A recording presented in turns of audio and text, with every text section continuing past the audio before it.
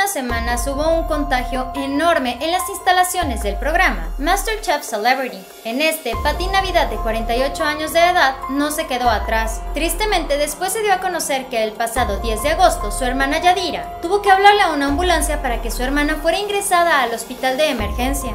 Sus niveles de oxigenación eran muy bajos. Por ahora se sabe que la actriz y cantante aún está conectada al oxígeno, pero afortunadamente se encuentra estable. A través de una entrevista se mencionó que Yadira llegó a un momento en el que ya no aguantó más y decidió internar a Patty. Ella se negaba rotundamente a tomar algún medicamento. Por esta razón su salud cada vez bajaba más y más. Según lo que se mencionó, Patty llegó a pensar que únicamente se trataba de una simple gripe. Por si esto no fuera suficiente, también contagió a su hermana y a la hija de Yadira. Yadira habló inmediatamente al 911 y cuando los paramédicos llegaron, oh sorpresa, Patty Navidad tuvo un momento enorme de desesperación y empezó a gritar que ellos se la querían llevar a la fuerza. Se dice que a Patty la tuvieron que cambiar de hospital, pero que ninguno aceptaba tomar algún medicamento. Por sus ideas, Patty Navidad no quería que le aplicaran ningún medicamento, y fue en ese instante cuando Yadira tuvo que intervenir. En la entrevista se mencionó lo siguiente. Yadira aseguró que Patty está mentalmente incapacitada, pues tiene un tumor en la cabeza que la hace perder la noción de lo que dice o hace, y por eso no es capaz de tomar decisiones. A partir de esto, los médicos comenzaron a administrarle el medicamento a través del suero. A ella le decían que no le ponían nada. De no haber sido así, Patty ya no estaría con nosotros.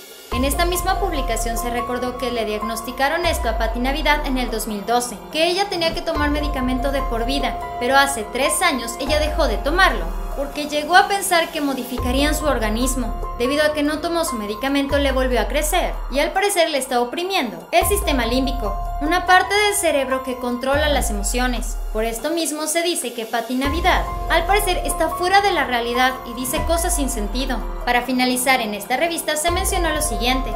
Toda su familia está preocupada porque el tumor también le está afectando la parte que controla la motricidad de repente se le entumen las manos y piernas. Patty no ha buscado tratamientos alternativos porque tampoco tiene dinero. Sus proyectos son esporádicos y le pagan muy poco. En diferentes medios de comunicación se ha mencionado que Patty ha respondido favorablemente al medicamento, pero sí han revelado que su sistema inmunológico está bastante agotado. La enfermedad mundial le dio muy, muy fuerte. Por esta razón nosotros, aquí en el Muro de la Fama, te pedimos que por favor todavía te cuides mucho. Tristemente esta situación no acaba, así que hay que continuar siguiendo las medidas de seguridad, ya que mientras te cuides tú, nos cuidas a nosotros.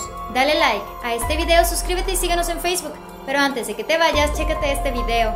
Espero que tengas un excelente día, nos vemos muy pronto. Bye.